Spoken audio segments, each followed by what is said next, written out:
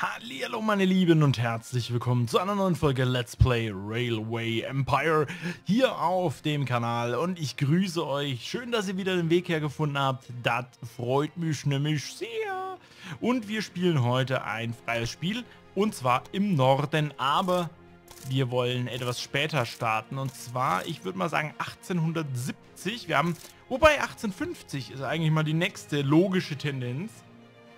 Und zwar wählen wir 600.000 Stadt, Hauptstadt. Wir werden fahren in Omaha oder hier unten in Oklahoma. Finde ich eigentlich ziemlich cool. Hier ist Wichita, Dodge City, Amarillo, meine Lieben. Ja, wir haben drei Konkurrenten. Die KI-Stufe, wobei wir machen mal zwei Konkurrenten. KI-Stufe ist normal. Streckennetz machen wir einfach diesmal. Ich will mal wissen, wie es läuft, wenn man ein einfaches Streckennetz Zusammen hat. werden wir sie alle bezwingen. Hauen wir den rauf. Wunderbar. General. Meine Lieben, ich mache ein einfaches Streckennetz. Ich weiß, das ist bei euch nicht populär, aber ich habe das noch nie gezeigt und deswegen möchte ich das euch jetzt du zeigen. Du hast dein Startkapital erhalten und deine Aufgabenliste wurde erstellt. Du hast zwei Kontrahenten in dieser Region. Also sieh dich vor. Okay.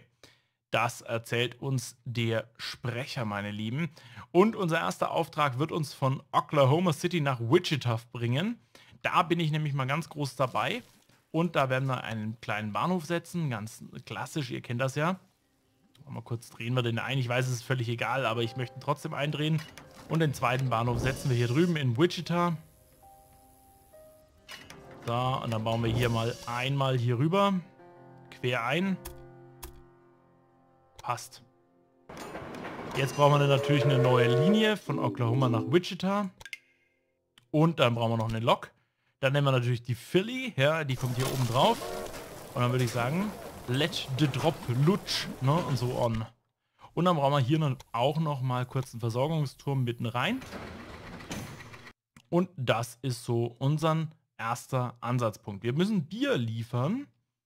Ähm, wie schaut es denn hier eigentlich aus? Fährt hier los, wunderbar. Okay, Biere müssen hier geliefert werden. Das ist so eine Sache, da müssen wir uns mal ganz kurz gucken. Oklahoma will Bier haben. Und wir haben hier keine Möglichkeit, groß Oklahoma anzubinden, außer mit Getreide. Und das kriegen wir von hinten. Das heißt, wir werden hier einen kleinen Landbahnhof errichten. Und werden von hier Warte, nee, da müssen wir noch ein bisschen rausziehen. 6% Steigung machen wir. Wir werden folgendes machen, und zwar eine Zuglinie einrichten von Cole nach Oklahoma. Lokomotive, die Philly und Marsch, meine Lieben. Wir wissen ja erst ein bisschen mehr, wie es funktioniert und deswegen werden wir das auch so tun. Ja, das ganze Ding soll diesmal ein bisschen spannender gehen. Ja. Können hier oben über Zuglinie auswählen. Wichita braucht im Übrigen Möbel, die brauchen Bretter, also Holz. Von hier müssten wir verarbeiten zu Brettern. Oh, hier oben ist schon unser erster Kontrahent. Haben wir irgendwo Bretter? Irgendwo nahe vielleicht. Der Amarillo könnte man auch super mit, mit Vieh anbinden. Auf dem Weg sogar über Kohleland gut. Könnten wir hier weiter raus expandieren. Dann könnte man Amarillo noch mit reinbringen ins Boot. Wir müssen uns ja um sowas jetzt zum Glück keinen Kopf ich mehr machen. Ich beglückwünsche dich zu deinem neuen Bahnhof. Danke. Das ist mir ein Vergnügen. Das ist teuer. Egal wie wir es drehen und wenden.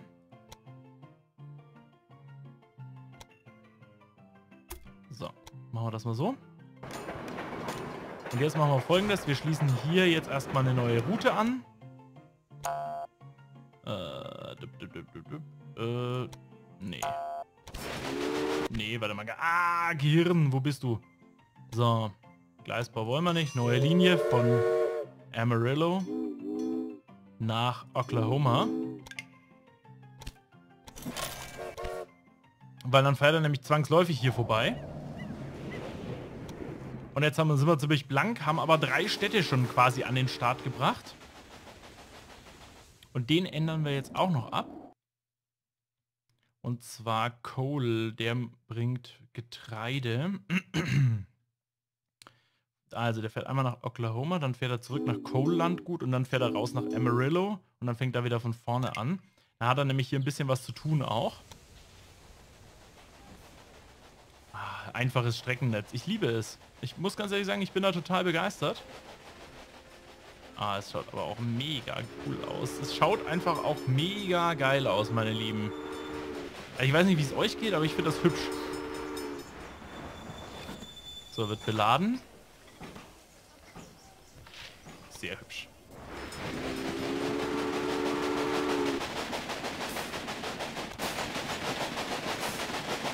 Hübsch, oder? Ich finde das sehr hübsch hier.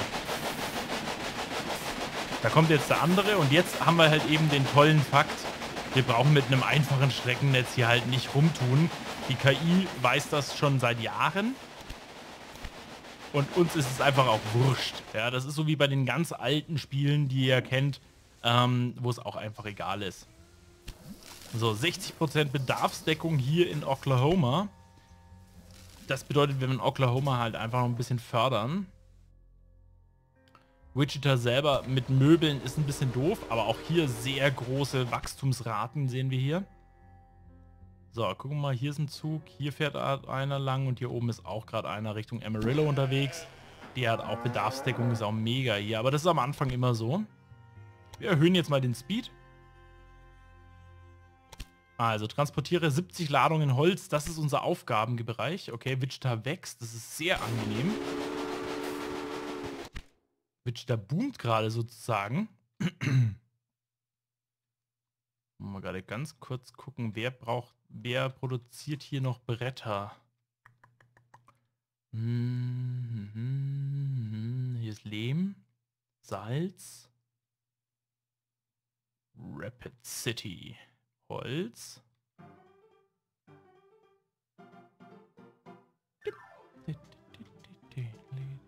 ich mag das total gerne. Innovation. Okay. Also, dann machen wir erstmal Expresszüge. Ist, glaube ich, wichtig. Hier oben ist auch ziemlich interessant. Die neue Dungeon, äh, Dragon, sorry. Doc Murphy bietet hier mit. Wir machen auch mit. Die Dragon ist für mich ziemlich interessant, weil die halt auch viel kann. Ich wollte nur den Preis in die Höhe treiben. Ja, ist ja in Ordnung. Ne? Also kann man jetzt so mal sagen. So, Oklahoma wächst weiter. Ja, ist gut sogar. So, hier der, da wäre jetzt halt einfach die Dragon verfügbar. Machen wir auch. Eine Dragon draufpacken ist kein Schaden für uns. Und hier kommt eine gerade eben auch von dem Coal-Landgut. Auch ein ziemlich interessantes Ding.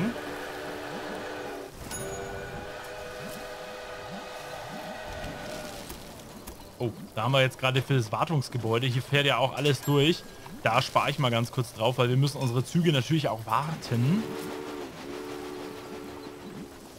Einfach mein Reporter hat sich dein kleines Unternehmen einmal genau ah, angeschaut. Ah, ist ja lieb von dir. Hm? Also Oklahoma würde ich gerne aufrüsten. Zumindest mit äh, eben so einem Wartungsgebäude, damit unsere Züge halt auch gewartet werden könnten.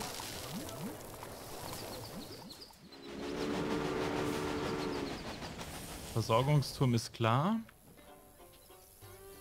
Wie schaut es mit dem aus? Ist der gewartet? Okay. Oh, jetzt geht's raufwärts. Ja, hoch den Berg. Das ist immer schwierig. Neuer Heizer drauf ist mit Sicherheit kein Schaden für uns. Können wir machen. Können wir machen, meine Lieben. So, das hier ist die Fleischindustrie. Die produziert auch generell gerne mal. Wird hier Fleisch tatsächlich auch mitgenommen. Sehr gut. So, gucken wir mal alle Linien an, die verdienen. Vor allen Dingen aber die hier von Amarillo nach Oklahoma. Uh, diese Pläne kannte ich noch nicht. Danke. Hm, danke. Dienstwagen können wir auch noch hinzufügen. Obwohl, nein, lassen wir mal ganz kurz. Was gibt es denn hier noch? Kreative erhöht den Profit aller Fabriken. Haben wir jetzt aber noch keine, ne? Ähm, dann lass uns das, erlaubt einen Zügen Verwendung des Dienstwagens, erhöht die Boni aller Mitarbeiter. Hm, eher schwierig. Standardisierte Bauteile verringert die Kaufpreise der Lokomotiven. Oh, da müssen wir sparen. Da will ich hin. Also das müssen wir auf jeden Fall haben. Auch die Leistung erhöhen, finde ich hier eine ganz wichtige Geschichte. Dass der so abgeht, wundert mich gerade ein bisschen. 35. Mach mal. Kommt ein neuer Zug drauf. Hauen wir gleich mal 9 drauf. Das ist kein Schaden. Die von Oklahoma wächst. Super geil. Das kostet uns der da hier, der ist sauteuer, weil wir die halt jetzt schon anfänglich, anfänglich gleich bezogen haben, die Jungs. Schnellsten Zug, yay! Sehr Bei geil. dir läuft es ja derzeit richtig gut. Okay, Fracht und so weiter liefern wir jetzt auch ganz heftig.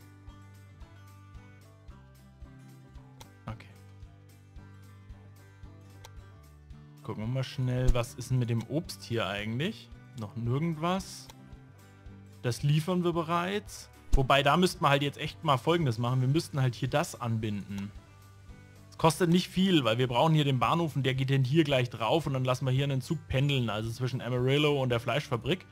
Die äh, wird jetzt momentan, ja natürlich dummerweise auch komplett ähm, versorgt hier. Warte mal kurz, wir machen das so. Schließen das gleich mal an. Verlauf geplanter Gleise geändert? Weiß ich jetzt auch nicht. So. Und dann kommt hier jetzt nochmal neuer Versorgungsturm dann hin. Für 30.000 müssen wir uns den leisten wollen. Aber ich will mich hier... Kalifornisch neue Sonnen, okay. Ähm, äh, hier in dem Bereich würde ich mich gerne niederlassen hier unten. Also alles, was im Südwesten liegt, ist so eher das, wo ich hin will später. Aber vorher brauchen wir natürlich hier auch einen Versorgungsturm, einfach um nochmal dann auch diese Linie zu betanken, wenn es denn drauf ankommt. Und die produzieren hier Holz. Oh, die produzieren Bretter. Und diese Bretter werden ja dringend gebraucht. Und zwar in der wunderwundervollen Stadt äh, Wichita, wo Möbel hergestellt werden. Also da könnten wir hier einen, eine Lok dann auch fahren lassen. Von hier nach Amarillo, von Amarillo ein Expresszug quasi dann nach Wichita um Möbel herzustellen, die dann auch wieder rückwärtig mitgenommen werden könnten. Das wäre sehr super. Äh, sind wir jetzt schon weiter? Nee, noch nicht, ne? Ja, und hier sind wir auch noch ein bisschen eng beisammen. Ach komm, das machen wir jetzt trotzdem. Freischalten. Freischalten. Sieh dir mal diese schicke neue Ventilsteuerung an. Herrlich. So. Okay. Also jetzt als allererstes brauchen wir erstmal einen neuen Zug. Von hier nach da. Lokomotive wählen. Wir haben da am meisten Power. Hm, da wäre die Dragon eigentlich ganz gut drauf. Lokführer gibt es ja auch im Angebot. Können wir auch gleich drauf packen. So, weil der kann nämlich hier auch ein bisschen Vieh anliefern. Was kostet uns der hier gerade? Das ist zu teuer. Das werden wir momentan noch nicht so hindeichseln können. Aber der Weg ist zumindest da und geebnet. Investiere doch mal ein wenig in die Zuverlässigkeit deiner Züge. So, Wartungsbedarf reduzieren machen wir auch gleich noch auf. So, was fährt hier gerade lang? Das ist die Campbell-Zucht. Die macht ganz tolle Gewinne. Damit nämlich hier das Fleisch tatsächlich läuft. Und der sollte jetzt eigentlich von der Produktion her, sollte der deutlich anziehen. 16,9. Also der sollte jetzt durchgehend ausgelastet produzieren können. Ja, und er nimmt auch hier ganz gut was mit. Also hier möchte ich gerade Amarillo auch ein bisschen an die Pflicht nehmen. Auch das mit dem Holz finde ich saugeil gerade. Das würde ich sagen, das ist unser nächster Ansatz. Kleiner Bahnhof. So. Und dann gehen wir von hier über hier, über hier, nach hier. Das ist natürlich jetzt für 60.000 erstmal noch kein Thema, ne? aber es wird mit Sicherheit relativ schnell zum Thema, weil unsere Züge verdienen ja eigentlich relativ easy Geld. Ihr seht schon, das ist der Unterschied zwischen einer komplizierten und einfachen Streckenanbindung. Das geht so super gut, ja, ihr seht, ihr könnt relativ schnell am Anfang gleich Vollgas machen, ja. Und das ist eine Sache, muss ich sagen, da finde ich es nicht in Ordnung, dass die äh, KI das eben grundsätzlich so hat. Bahnpolizei. Erhöht die Transportvergütung. Na, da, da bieten wir mal mit. Ich kann zwar nicht überbieten, aber ich möchte mitbieten. Für einen Zehner finde ich das völlig in Ordnung. Hast du diese Ausgaben einkalkuliert? Klar, wir sind völlig pleite. so, nächste Aufgabe. Zuglinie wählen. Von hier nach da und von hier mit Holzbrettern geht es dann nach Wichita. Um dann wiederum von Wichita zurückzufahren und dann nach ähm, quasi ganz zurück. Müssen wir natürlich eine Lok wählen könnte ich mir vorstellen, eine schnelle Lok drauf zu packen. So eine. Da haben wir jetzt auch niemanden gerade da, der dafür bereit wäre. Aber die kann das ganz gut. Und die hat auf ihrem Weg zweimal drei Versorgungstürme sogar. Also das klappt bestimmt auch gar nicht mal so schlecht.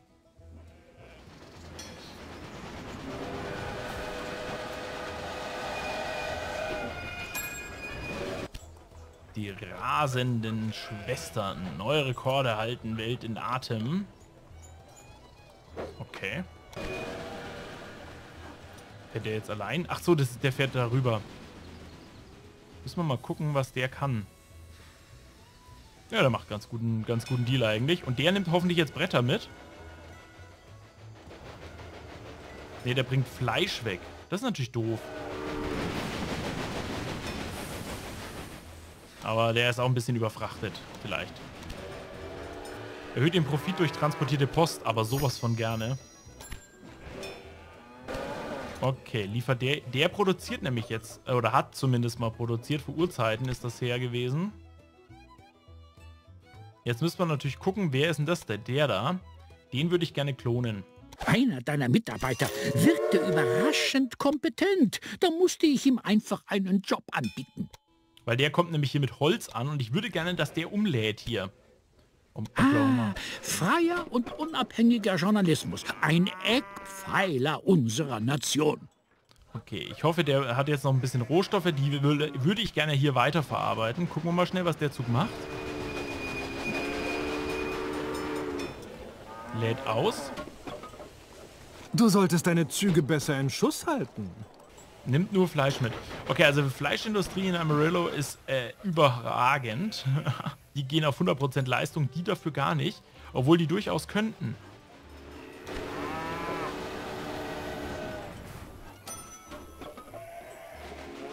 Okay, was bringst du? Du entlädst gerade haufenweise Rinder.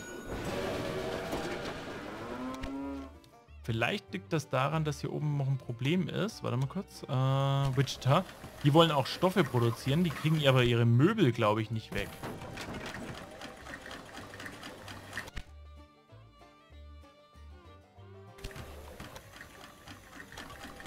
Bretter zu weiter. Oder wir bringen hier ähm, vorhandene Rohstoffe.